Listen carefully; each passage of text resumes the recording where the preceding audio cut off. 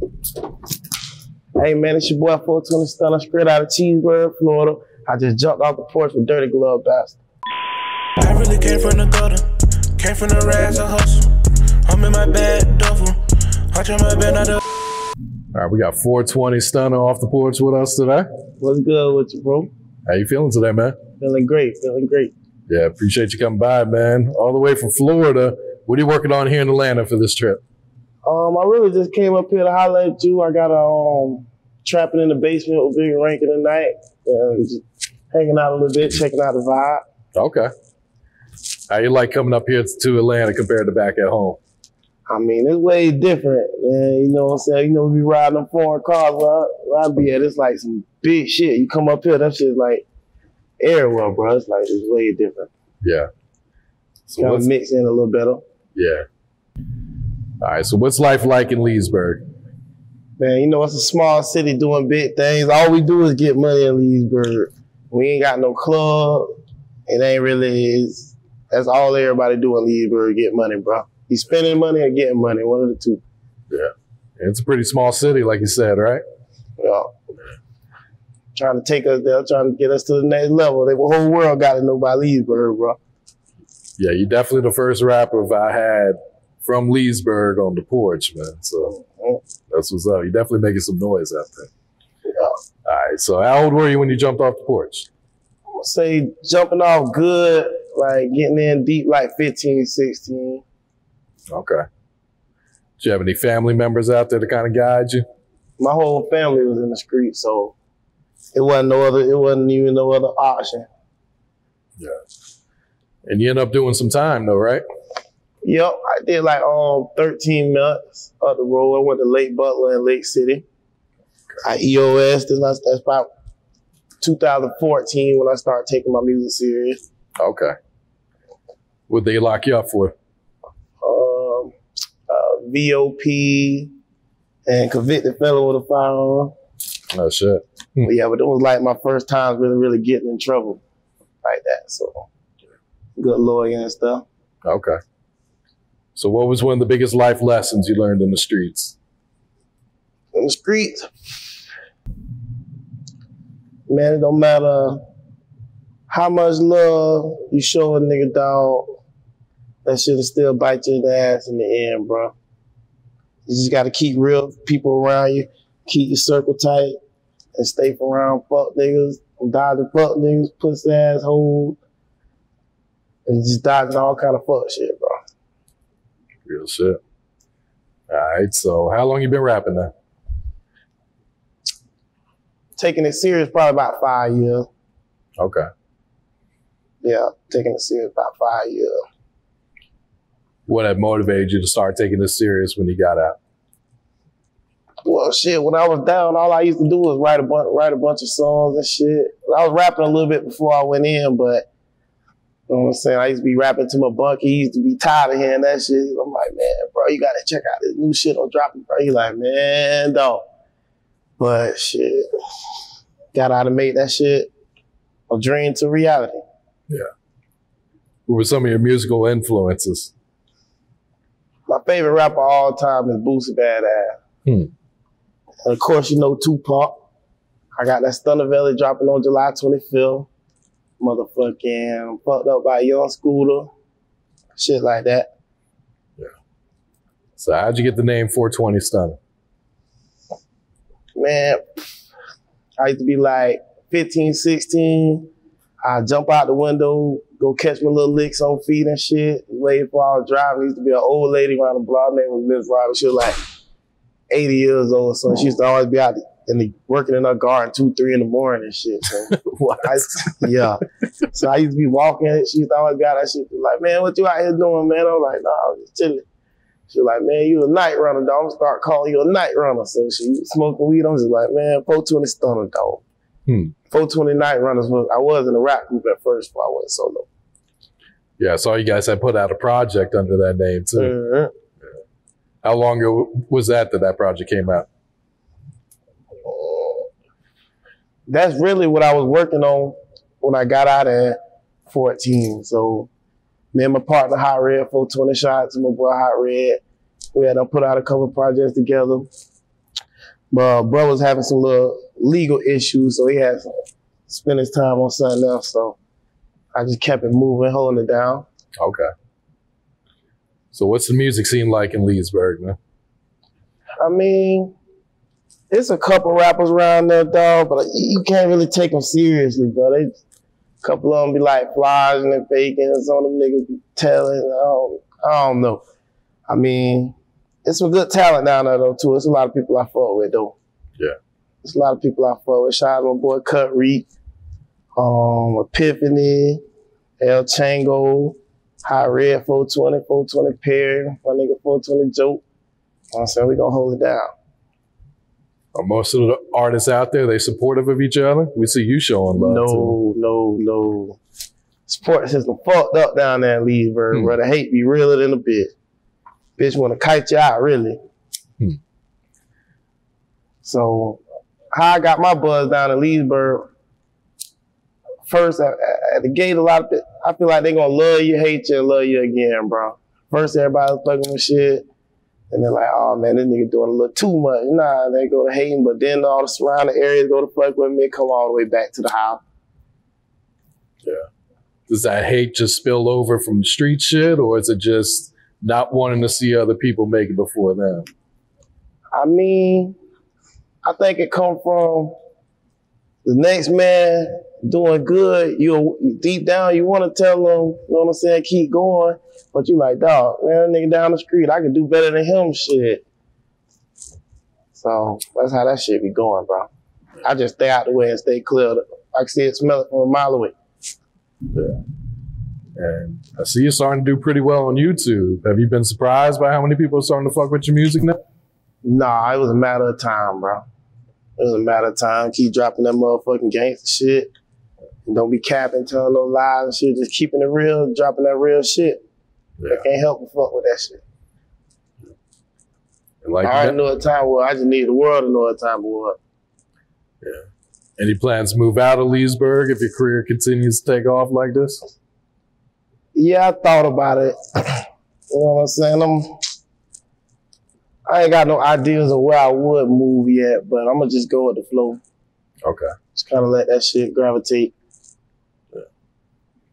Like you mentioned, you get the Stunnavelli about to drop, man. So let, let's start with this artwork, man. That's causing so much controversy right now. What was your vision for the artwork, and can you explain what's going on with it? Man, I've been getting a lot of controversy about that shit, bro. Like, nigga, people saying, oh, you'll never be big as Tupac. Who this dude think he is? Man, everybody know Tupac I think he made it to 25 and passed. Tupac and me was spitting two totally different aspects of what was going on. He was kind of like on some black power type shit. I'm, I'm, I'm giving him a, the, it from a different point of view. You feel me? People like, dog, you, this man think he better than Tupac. I ain't never said I was better than Tupac, but the objective of doing anything in life is to be the best you can be. I'm trying to be better than everybody. Just like you, instance, you know, I feel like LeBron gonna give Jordan respect. LeBron trying to be way better than Jordan. Shit, I'm trying to be better than everybody. I ain't gonna lie. Boots my favorite rapper. I'm trying to be better than him too. But I love Tupac, bro. That's that's that's kind of shit I be listening to. Was the artwork was that your idea, or is that just what the graphic designer came up with? Well, my first artwork, I hadn't kind of made it like a split face of my face and Tupac, but this shit came back looking crazy. So I was just thinking, dog, motherfucking, I just need to unzip out of Tupac. Like I'm Tupac reincarnated, dog. Tupac back from the dead. That shit running through me. Did you ever think uh, when you posted the artwork you would get this much controversy? Yeah, I knew it? was gonna get a lot of controversy. But that controversy gonna help me get them screens up cause bitch got to click on that shit like and then when they click on it and really get to listening, okay, now I see what he's saying. I got to come forward with this dude. Cause you got to have nuts to even try that shit. And you know what I'm saying? I know all my shit undone. What's been some of the most wildest comments or feedback you got when you posted this? Man, this one dude was like, bro, how, the, I, It was like, man, take this shit down, man. You ain't even famous, bro. I said, damn. I somehow one dude made me want to comment back. I was like, nah, I ain't even gonna comment. I just comment on the July 25th, bitch. And then he was like, um, motherfucking, it don't matter if it was July 26th. I'm like, oh man, but I know when that shit drop, they gonna be all on that. They gonna be all on that shit. Bro. Are most of the negative comments you get are they from your followers or people who don't even follow People, it's all people that don't know me. Okay. Everybody who know me or heard any of my music, it was straight flames and muscle emojis and keep up the good work. I already know you ain't bullshit and that type of shit. All right. So what should fans expect to hear on this Stunnavelli album? Man, that's Stunnavelli. I've been dropping that straight motherfucking gangster shit, that real motherfucking trap shit, that motherfucking real trench music, bro. That's that that shit. Ain't nobody rapping like this right now. This shit ain't even rap like this going on right now. And talk to us about this new song and video you dropped, uh, Gambling with Koly P. Man, I had I had um Koly come to the booth. It was already a hook I had done came up with the day before. So I really ain't think it was that hard at first. I was in there, went to hitting that shit, chance, and, and, Koly was like, man, you crazy, bro. That bitch slides. So I was like, all right, fuck it. We went in there and dropped that bitch, and I just freestyled my verse. Hmm. And shit, Koly went in there and did his thing, and that shit was, uh, I think that bitch gonna be a hit. How'd you link up with Koly at first? I first met Koly. Let me see. I don't I don't move Koly for a while. I think I first reached out to him for a feature on my Road Runner Stunna mixtape, and I um actually linked up with him in Orlando at Best Believe video shoot. Best Believe and Loose Cannon had a video shoot, Mm-hmm. and I was there. We ended up doing a song, and we ended up just kicking it from there. I got like three, four songs with Koly. Okay. So yeah. Um, what can you tell us about the song Leesburg Anthem? Oh yeah, yeah, yeah. See, when I dropped that Leesburg anthem, it was a it was a Leesburg cipher that they was doing in my area, and everybody kept on asking me to get on it, but I ain't really know the other artists who was on it like that. So they end up putting it out, and as they they put it out, and it ain't get the feedback. I don't think they wanted. Everybody was like, man, Stun, you should have been on that bitch. You should have, ain't no, you know what I'm saying? So I was like, fuck it, I'm gonna drop the Leesburg anthem. Go on that bitch and give it to him, give him that real raw shit. I see that shit's doing numbers too, man. Yeah, yeah, it is. I had Big Rankin on there. Big Rankin love that song right now. Yeah. Yeah, it's Yeah. got the juvenile sample and everything. Yeah, I actually played that bitch for Juvenile. I had a show with Juvenile, Hmm. and he was fucked up about it. Nah, that's what's up, man. Yeah, he was. Uh, you're also gonna have Jimbo World feature on the project, right? Yup, that brick crazy. Yeah. Trying to run it up, going brick crazy. These niggas still broke. This shit crazy. They ran it up. They still had. Yeah, that video's over 130,000, I think. Yeah, yeah. Going crazy. Did you know that song was gonna take off when you dropped it? Yeah, I did. I almost had. At first, I was like, man, I was finna try to actually reach out to Young Scooter to get on that song. Hmm. But I was like, no, I'm gonna keep that shit in Florida, and I and I was already fucking with Jimbo shit pretty hard. So I had to send him over the track. That bitch ended up, he ended up riding that bit. And at the video shoot was really my first time meeting Jimbo face to face, and we like connected like right out the gate. Okay. That shit was everything. Did you shoot that in uh, Leesburg? No, I was finna shoot in Leesburg, but this fuck shit that like been going on, be going on in Leesburg. Troll be on Facebook and shit, so I was promoting. I'm like, dog, bit one video shoot, and yada yada yada. Troll pulled up to the location a week ahead of time, and motherfucking like, dog, it's gonna be a video shoot. Here we gonna shut that bitch down. So I ended up having to shoot that bitch in Belleview. Oh shit. Hmm. Yeah, that police shit bad in Leesburg. Do you have a personal favorite song that's gonna be on Stunnavelli? I got a song on there called Can't Touch Me. I freestyle. I feel like it's one of the smoothest shits I ever made. This bitch made for the radio. And I don't, it's a song, it's just different than any song I ever made. I don't even usually rap like how I was rapping, but I was just trying some new shit.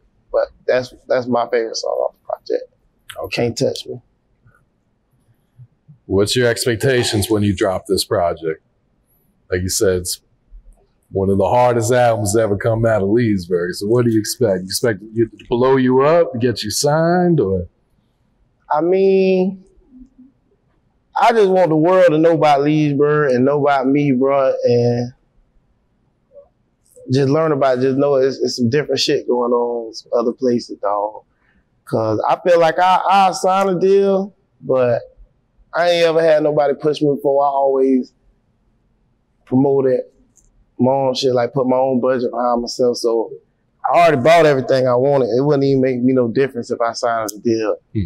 Like it'd just be some extra shit so I could, you know what I'm saying, devote all my time to music. But I already had everything I wanted.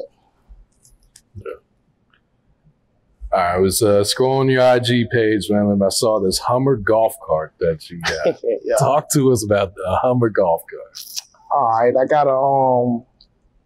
I'm gonna get teased for the golf cart. I'm gonna tell you why I did that to the golf cart. I got a Delta 88 1975 vert on some motherfucking gold 30s. I've been building this bit. I was trying to have this bit ready for Father's Day, but it ain't made the cut. So um, I had a couple of couple of little tweaks I had to do to it. So I was like, "Fuck it, dog. I can't go out like that."